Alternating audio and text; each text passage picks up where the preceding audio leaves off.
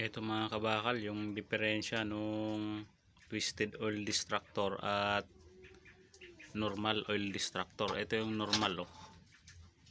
Yan nyo, nahahalata yung tinatamaan ng tatlong oil distractor oh. Dito. Yun. At yun. Ito yung normal oil distractor. Kasi tatlo-tatlo lang itong ano ni.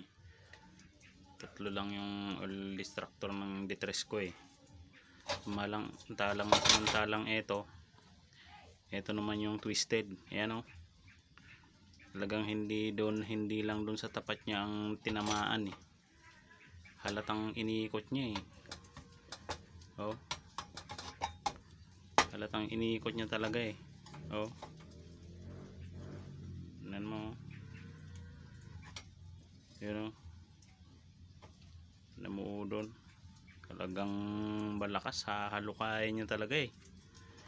Yan ang diferensya ng twisted at saka normal lang